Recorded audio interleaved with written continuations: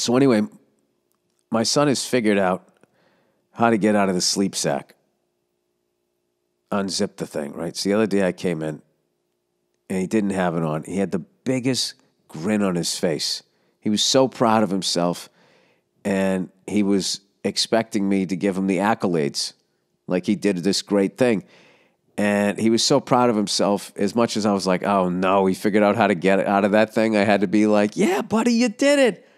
You figured out how to, that's great. You know, what am I going to do? It's better than the alternative, him just sitting there like, I can't figure it out.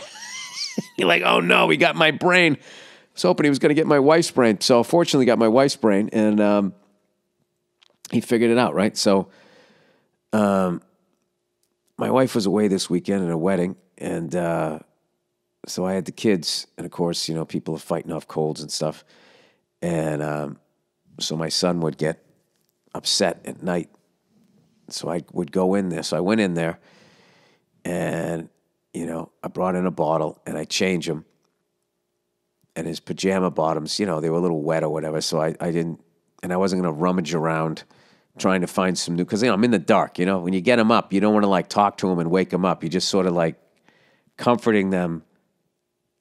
You know, and then you're just doing it, and then you give them the bottle, put the sleep sack on, and then you're done, right? So I do the whole thing. I just put a diaper on and then put pajama bottoms on, right? So he goes to sleep. It works like a charm.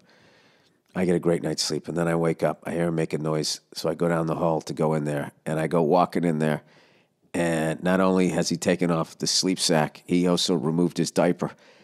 So he's sitting there, butt ass naked from the waist down, same look on his face, like, huh? I did it.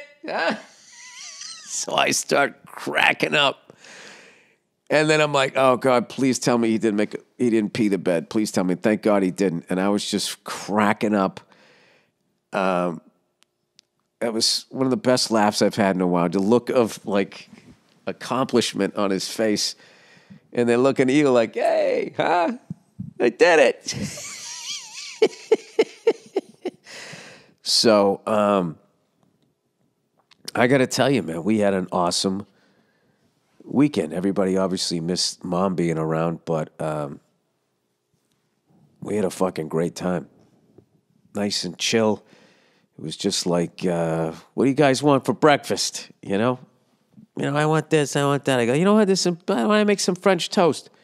My daughter's like, I don't want French toast. French toast is yucky. I go, you never had it.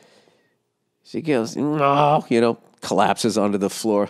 They always have those James Brown moments, you know, where you, you feel like you got to run over and put a cape around him. Uh, what was that song? Please, please, please. When he would sing that, yeah, your kids do that. They just, just immediately. Jack, can I have a popsicle? Uh, not yet, buddy. You got to finish up your broccoli. Oh, they just fucking, fucking like a building imploding. So, um, yeah, I found this quick little recipe and I made this French toast. And uh, I got to tell you something total silence in the kitchen when they were eating. That's when you know you crushed it as a cook. All you hear is just fucking people chowing down. And I fed some to my son. He never had French toast before, and he ate it and looked at me and did like this big, you know, big cheesy smile. I'm like, all right, this is perfect. This is perfect. Then we watched a little bit of Bluey.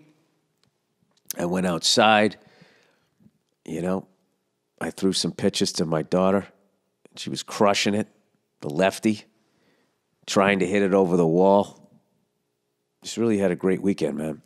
Um, having said that, psyched, my wife is back, so I can, uh, you know, share some of the duty here. But uh, it was a great, great, great time.